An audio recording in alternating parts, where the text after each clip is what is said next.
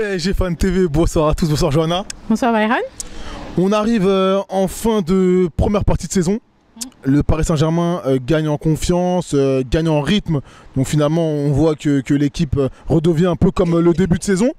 Mais euh, il y a la trêve qui va arriver. Comment, comment observes-tu cela? Mais déjà, je suis contente parce que grâce à Marseille, malgré notre match en retard, on est déjà champion d'automne. Donc on va partir en fait euh, sur une fin de, va dire, euh, mi-saison euh, plutôt bonne. Après, on voit que la dynamique a beaucoup changé, qu'on est beaucoup plus collectif. On a pu voir face à Galatasaray déjà et à ce match, on voit beaucoup euh, d'attaques, euh, une diversité au niveau de l'attaque en termes euh, de buts. C'est pas toujours les mêmes qui marquent. Donc on voit souvent Mauro, Neymar, Mbappé. Donc c'est plutôt, c'est plutôt bon signe, oui. Euh, On va parler du, du milieu de terrain. Donc je vais te lancer sur, sur Paredes qui est associé à, à Marquinhos. Est-ce que tu penses que, que, que ce joueur-là qui, euh, qui oui, qui a un gain de forme en ce moment, oui, il faut le dire. Est-ce que tu penses qu'il qu'il a sa place dans, dans une équipe type parisienne?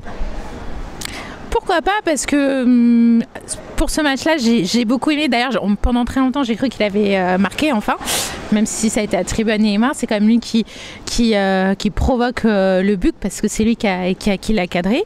Je, je, suis pas, je suis pas une très grande fan de Paredes, mais après réflexion, quand on voit ce qu'il fait en équipe nationale, dans son équipe nationale, je me dis peut-être qu'il est mal exploité justement au Paris Saint-Germain. Peut-être qu'on qu'on n'a pas su l'utiliser correctement et qu'on n'a pas su en fait euh, sortir tout son potentiel. Donc c'est pour ça que je reste euh, un, un peu confiante euh, sur, euh, sur Paredes. D'accord. Je t'interrogeais sur euh, Diallo. Donc des, des- toujours des, des- joueurs, oui, un peu second couteau. On voit qu'Ipembe est absent dû, euh, à une blessure. Donc du coup, euh, il prend sa place. Euh, comment l'as-tu trouvé euh, ce soir? Il a fait des bonnes choses et des mauvaises choses, comme euh, des fois euh, Diallo, euh, il y a des passes, euh, il n'a pas su gérer, il s'est fait avoir par, par les attaquants de Saint-Etienne.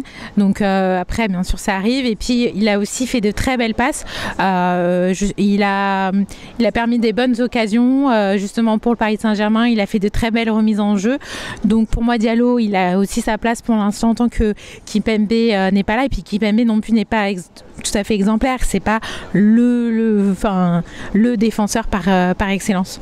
D'accord. Enfin, dernière question, je viens de parler de Kylian Mbappé. Donc, j'ai l'impression qu'il y a eu une évolution dans son jeu euh, en ce qui concerne en tout cas les, les- peut-être les deux derniers matchs. J'ai l'impression qu'il est plus collectif. La Wi-Fi entre lui, entre lui et Neymar fonctionne très bien. Donc, euh, quel est ton regard sur ce joueur?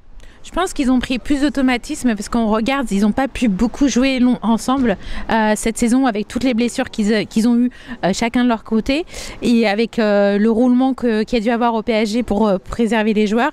Ils n'ont pas pu en fait reprendre cet automatisme, sachant que aussi Neymar était blessé en fin de saison l'année dernière.